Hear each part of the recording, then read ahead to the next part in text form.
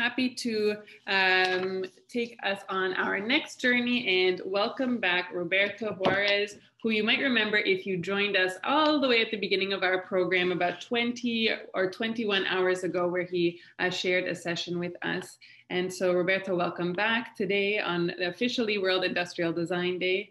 Um, Roberto is an industrial designer based in El Salvador, co-founder and creative director of Lero Studio that co-designs solutions for human development and companies' competitiveness. He is also the co-founder of ID Week based in El Salvador. Welcome.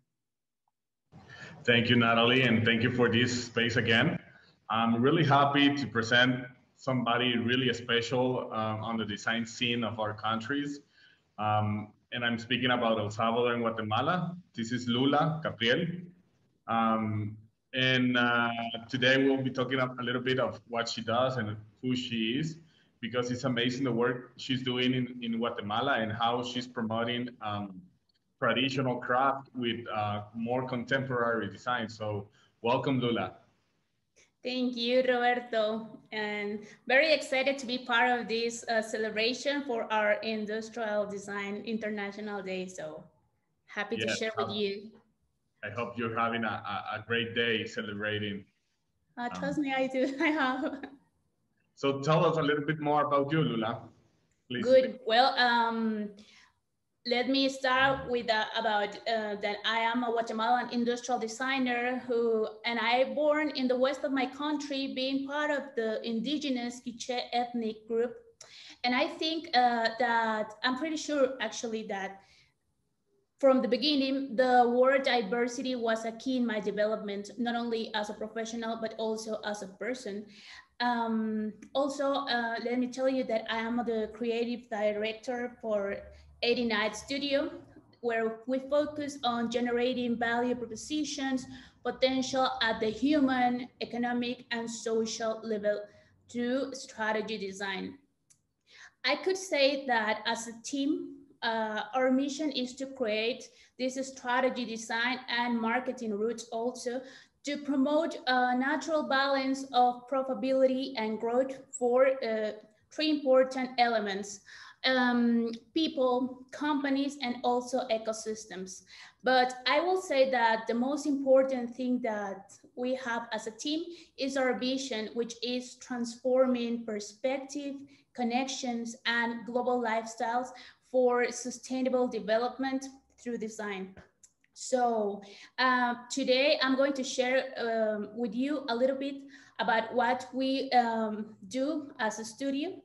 And let me tell, uh, tell you about my country, talking about Guatemala, Guatemalan diversity, um, talking about this richness that we have is um, in somehow um, sharing with you like this multiple cultural expression of our populations. As a country, we have a rich diversity, but not only for human, but also in ecological way. Uh, and just imagine, I don't know if you, well, I, I know that you already know my country and you will see that we are, we have a tiny, um, um, what, uh, not a space, but yes, like, sorry? Yeah small area or exactly. So uh, for this small area we have at least 23 kind of ethnic linguistic groups. So uh, we have this heritage also of handicrafts uh, not only from few years ago but from the beginning of our history. So as a designer working with this artisan sector has been and will always be for me as a second school in many aspects. But I think the most interesting for me is to observe its cultural practices um, closely linked to nature. Um, I will have um, a few images that I want to share with you. So, Please. yes, to show you um, what do I Took when I said,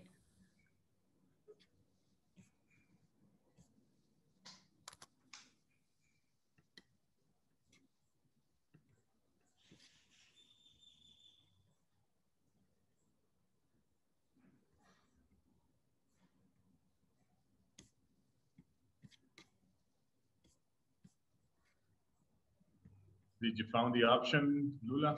Yeah, just here I have. I think there you already go. are seeing oh, my oh, screen, right? Yeah.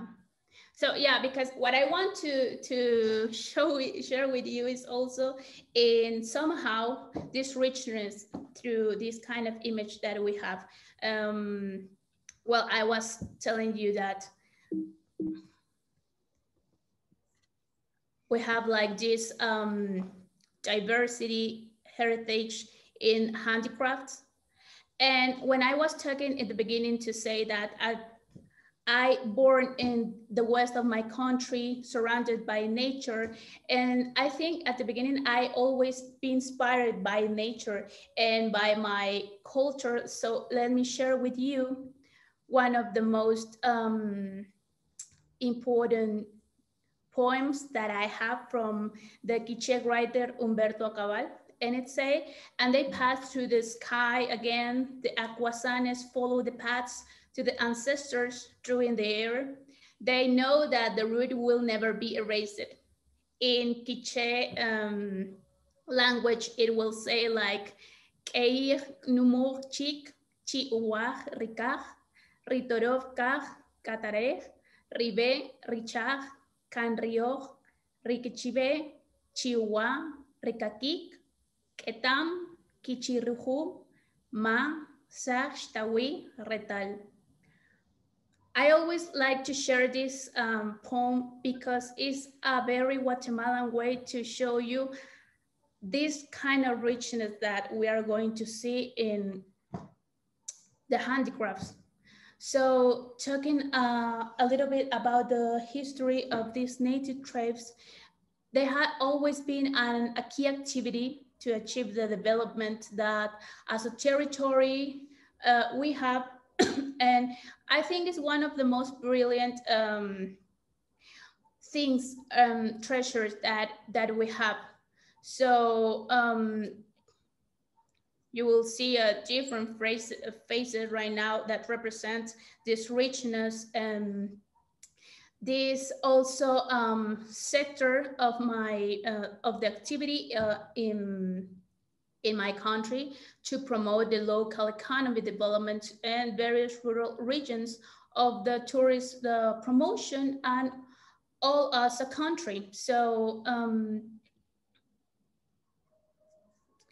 for us as a country, um, the this sector is um, when we talk about this sector, we talk about more than 1 million artisans in our population. And it's a sector leads by the 80% by women. When we um, see these richness from government, we start to think about uh, new strategies to uh, work new kind of projects uh, not only with government, but also with the international cooperation. And we start to, or we start to work um, different new projects to, to say, how can we encourage them and um, increase their development. So we start to create like this um, project that we work and talking about the future and conservation, that diverse knowledge uh, that our artisan sectors treasure. So we create a new contest, uh, in a national contest with which name was Cacao. So this is the last project that ha we have been working as the studio with government and also um, international cooperation. And the idea with these um, projects is to share the knowledge for these uh, masters artisans to this new generation of designers. I think you have seen our process, right, Roberto? Because actually this project starts like two months ago, and it has been a huge challenge, but also it has been a huge opportunity for us, not only as a studio, but also as a Guatemalan people to um, watch in a very um, inside way, the richness that we have, the challenge that we have, um, this uh, work that we have to do as in those uh, creative industry for our country. Talking about this kind of project is about is talking about this new perspective that we want to share and we want to create for our future generation. Talk about the, um, well, actually, um, let me say, tell you that this project, we work it with um, Asian model now knows it as OTOP one, one product, one, one town, one product. Uh, I'm pretty sure that you always know about this um, strategy, which means that each part of or territory of each country can uh, be specialized in one handicraft and to promote this the territory through these um, artisans. So what's the goals that we are pursued with this kind of national projects? The first and the most important for us was to revalue the identity and specialization of territories. Also, uh, merge the knowledge of masters craftsmen, craftsmen and with the new generation of designs. And the last was to enhance craft creativities as a key element of development and growth of our country. So you can see here like the phases of this richness that I am share with you, that I am talking with you. And why is important diversity in this kind of projects? For me, diversity is the, um, actually will be the key or the magic happens not only inside with us, but also uh, in international exhibitions. So Cacao is the project that we start to work with very like I, I, could say that all the team was very proud when we start to creative and say this has to be a huge platform where we can share our proud about our history and our future as a creative industry uh, from Guatemala.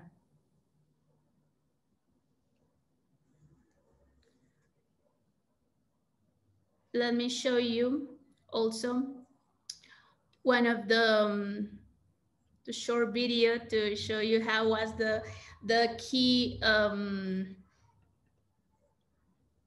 elements that we select for this proposal.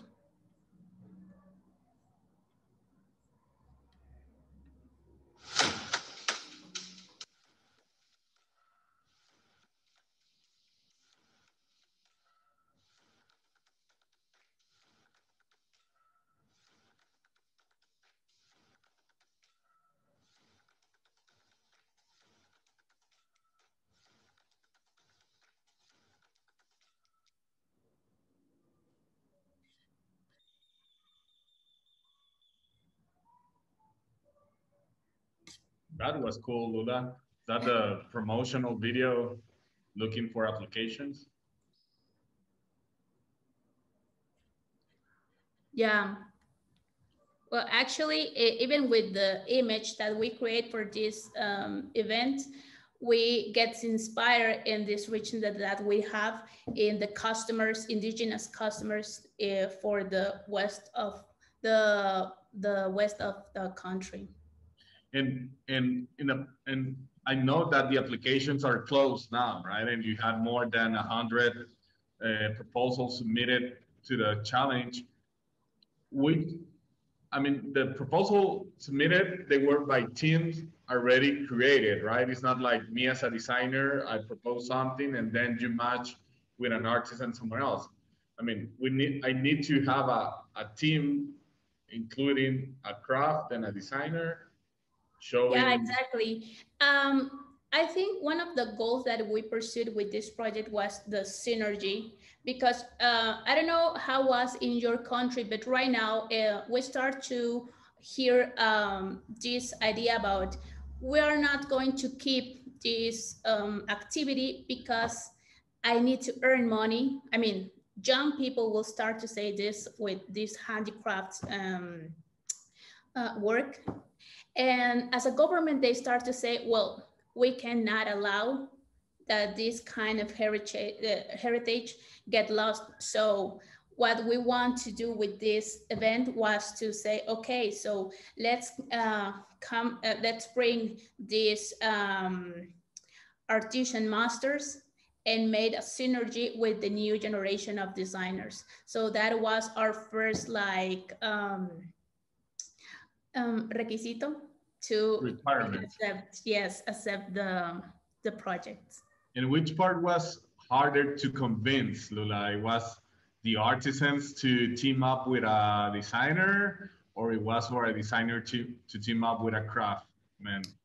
I will say the artisans, uh, you know, but was very interesting because at the beginning we start this kind of um, promotional tour when we start to explain them how does this event will work the the challenge but also the awards.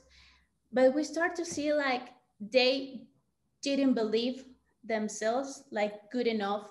So when we start to talking like come on you are the you are the this strategy uh, person that we need in this event. So they start to say okay but i'm still have a little bit afraid to participate because i don't know nothing about design. I don't know nothing about what is a concept. And was very interested because uh, we start to explain them. You already know a lot of about design and concept. You have to teach us. So i will say the that was the real challenge. Um, let them see the um, treasure that they have in their hands nice so now what's the next step you have all the uh, all the submitted proposals you go with a jury and then you select a winner or what's the yeah. process I mean, this event is going to end until November. So we have four phases for it. The first one was the um, open call. This second will uh, be the most interesting uh, for us because it's when we're going to select, obviously, the um, teams that are, that are going to go for this second phase.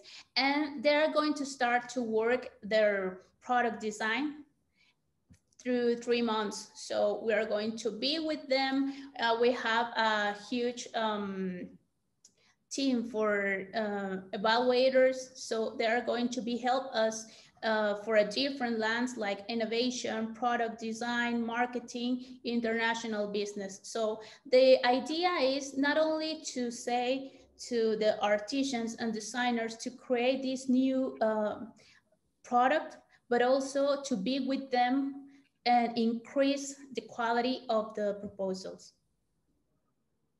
Nice. And at the end, I, I understand there's a, another prize for the for the winners to be featured on the Ibero-American Biennale of Design. Yeah, we create an alliance for work with them uh, because at the end of the day, what we want is to these winners will represent us with this proposal that they will um, present. So uh, the Ibero-American um, design is going to be one of our platform, international platforms where they are going to share their proposals. So practically they will be our creative ambassadors. Nice. That's an exciting challenge. I will, I would love to have over here actually. and, and tell me what has been the biggest challenge so far in the in the competition like having people trusting each other or having the the government on board for example what what's been the hardest part? More, more than to talking about the government i will say the huge challenge is to in a very romantic way believe in ourselves. Because many times the creative industry uh, is very good in what they do, but I will say it in some sometimes we don't believe enough in ourselves to sell sell this um, product, this idea, this strategy. Uh, so I think this is the real challenge to tell us that we have this value and we need to add this value to our country to talk about competitive and for talking about development. Yeah, and and from the from from the craft side of this challenge or the teams, um, do you have like a special point for them to bring up their tradition? Like I, I believe it's like a mandatory thing to have obviously the process involved and maybe the materials, but what about the culture behind? Is that an extra point to if they do that? More than an extra is one of the um, uh, strategy point in your proposal because the idea to use uh, this Asian strategy names uh, top one town, one product was to um, each proposal that you are um, they are going to present us has to tell something about our cultural and about the, this diversity that we have as a country. So yes, we are um, right now we are um, evaluate the proposals, and the most important thing first is about talking about the teams, and the second one is talking about this concept design inspired in our diversity as a country. I see. And since you already started evaluating, can you tell us a little bit more of what you've seen so far? May I say? I, I don't know, but I, I, I, I can share you that there are so many interesting. Also, uh, I forgot to tell you that we have three categories for this event and is wood, textile, and ceramic. So the idea is to have winners for each of these three categories. And so far, yes, we are so happy for what happens in lately. Yeah. I think it's the only thing I can tell you so far. but okay. you can stay tuned on our social media and uh, official website to see next week who is going to be for the second phase. Definitely where people can find more about this project you're promoting do you have an instagram yeah page? we have instagram account which the name of cacao concurso and also our website like www.cacaoconcurso.com nice nice. Well thank you uh, lula. And so we can close the session. How do you see yourself from 10 years from now? Um, still, as I see, I um, I think that question I made to myself like 10 years ago, five years ago. But for answer you today, I could say that I see me in 10 years sharing Guatemalan knowledge and through design. I am a very uh, proud Guatemalan industrial design, and I truly believe that our territory has a lot of potential and a lot of knowledge to share for create and for um, talking about uh, development. So uh, personally, you know that I also am a teacher, so that's one of the things that I truly love to do as an industrial designer too. So yeah, I see me sharing and also um, not only teaching, but also like be uh, be on students also for for life. Definitely, you'll leave a mark on them. And I I got a new question about what you're talking. I mean, you you, you were telling us that you you come from from a town of Guatemala, Momostenango. Yes. You grew up there and then you moved to the city and now you're working in the city, but also inside the country. But how how do you see your hometown now when you come back to that town with more influence, uh, cultural influence from your ancestors, but you grew up with a different context I mean, it's not that different, but definitely if you go to details, it is really different. How do you see now your hometown? I will choose one word for that, and it's respect. You know, obviously, when you grow up, you see very different your context. As I told you, uh, my context in Momostenango was a very surrounded by nature with my family, my friends. Um, and I didn't realize that I, that was my first school, my first inspired creative school in my life. So when I when uh, my parents decided to come to Guatemala City, obviously I started this process, um, academic process. Yeah. so when you start to have this new perspective and you come back to your roots, you see it very different. It happens because when I came back to Momostenango, I start to release the richness that we have, history, culture. So that's where I decided to say, well, I'm going to create a studio and I'm going to um, dedicate all my effort and my energy to work with art, with artisans and work with um, our history and our heritage. To talking about the new uh, um, quality of life for them. Because uh, I think it's not a secret to talk about a very um, complex context in for these kind of territories in my country. So basically your uniqueness from your background makes you more competitive in this context? Yeah, totally. Yes, I believe so. Nice. Well, thank you, Lula. We are just in time. I don't know if you have a final reflection on this topic to share with the attendees.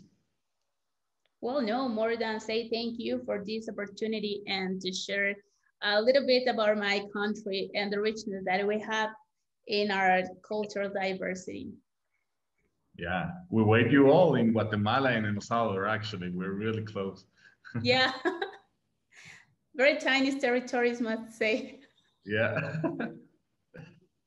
well, thank you, Lula. No, thank you, Roberto. Bye.